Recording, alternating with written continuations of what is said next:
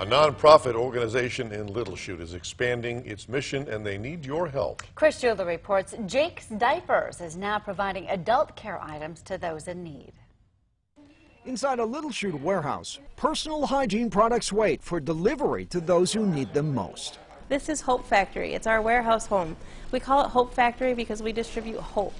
Since 2013, Jake's Diapers has given hope to low-income families through diapers and period product items given to 30 community partners who then hand them out monthly to those who qualify. One in three Wisconsin families struggle to afford diapers, and one in four Wisconsin women struggle to afford period products. And last month, Jake's Diapers added incontinence items for older adults and those with special needs. People are just homebound and afraid to leave because it's dignity. If you can't leave your house and you get a product that can enable you to do that, it gives you hope.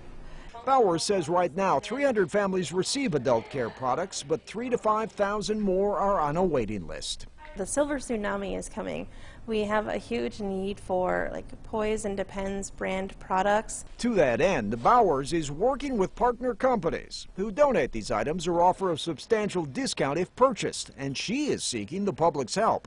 Our greatest need, honestly, is financial donations because diapers don't pay the light bill. Money to help give hope and dignity back to low-income adults dealing with the realities of life.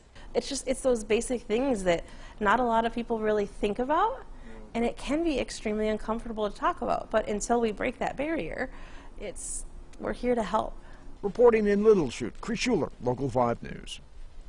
And if you'd like to donate to Jake's Diapers, you can find the link on our website, wearegreenbay.com.